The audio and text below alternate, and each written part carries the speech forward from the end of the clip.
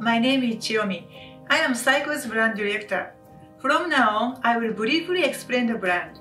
Saiko is a new Japanese brand launched two years ago. We studied with this designer, Japanese woman Saiko, and her 80 years old mother. At the core of the brand is ultimate sustainability. As you know, in modern society, the number of people who wear kimono is very small. There are many kimonos that has been discarded. But kimono is a traditional wear with beautiful pattern in high quality material that is created by best craftsmanship.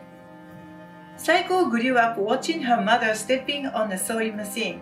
Her mother has been dressmaking as a seamstress at the Maison over 60 years. So her collection is born combining her outstanding design with her mother's handcraft. Saiko transformed kimono into innovative clothes to match with a modern lifestyle. Saiko's collection has two categories. First one is to find the material from antique kimono market and have it reborn into clothing. Second one, where she uses Okano kimono material.